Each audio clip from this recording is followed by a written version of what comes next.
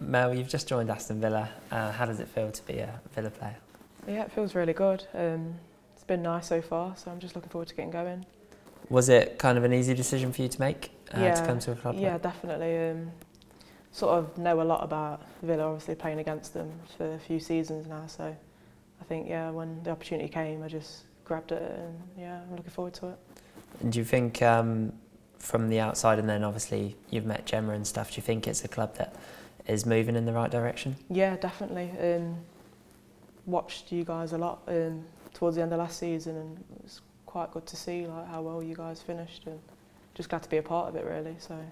So I think you played against Villa uh, three times last season, so you kind of getting to know the style of play quite well. Was that kind of the thing that uh, helped attract you to the club? Yeah, definitely. Um, watching you guys play and how well you guys play and stuff, and obviously knowing Gemma helps a lot. So yeah. And how did you find playing at Villa Park? Uh, yeah, it was amazing. Season? Yeah, it was really good. It's a good experience. It's a lovely ground. Are you excited to go back there, um, hopefully this season as a Aston Villa player? Yeah, definitely. Um, get some wins on that ground and score some goals. Yeah. And um, I think at the the past two clubs, you've obviously been top scorer at Leicester last season, and then at Sheffield. Um, I think I can remember you scoring a hat trick against Aston Villa um, at Tamworth. Are you? Is that what you kind of want to bring to the team here? Yeah, um, yeah, definitely. Um, just want to work hard and prove myself again, and just score goals and do well, and hopefully progress the team in the right direction. And is it your ambition to come here and be pushing towards the top of the league? Do you think? Yeah, definitely. I think you have to look, you know, towards the top end of the table and finish as high as you can, really. So.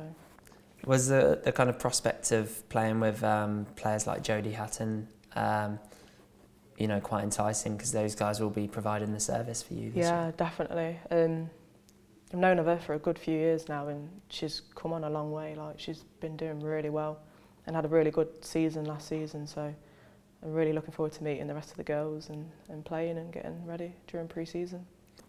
Just looking at the league, it looks like it's going to be quite closely contested because there's not not a Man United or Tottenham in there anymore.